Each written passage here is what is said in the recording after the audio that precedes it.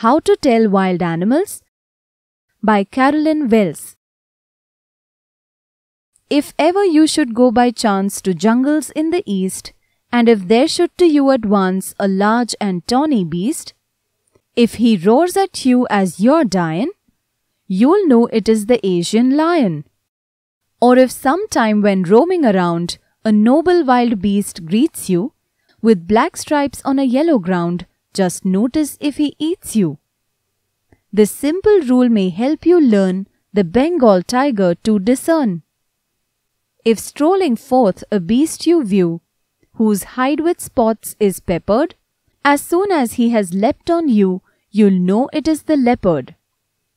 Twill do no good to roar with pain, he'll only leap and leap again. If when you're walking round your yard, you meet a creature there who hugs you very, very hard, be sure it is a bear. If you have any doubts, I guess, he'll give you just one more caress.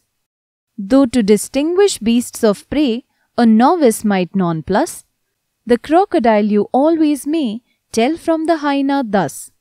Hyenas come with merry smiles, but if they weep, they are crocodiles. The true chameleon is small, a lizard sort of thing. He hasn't any ears at all and not a single wing. If there is nothing on the tree, tis the chameleon you see. If you like our videos, do share them and subscribe to our channel. If you want awesome quizzes, write to us. Keep watching and keep learning with Walnut.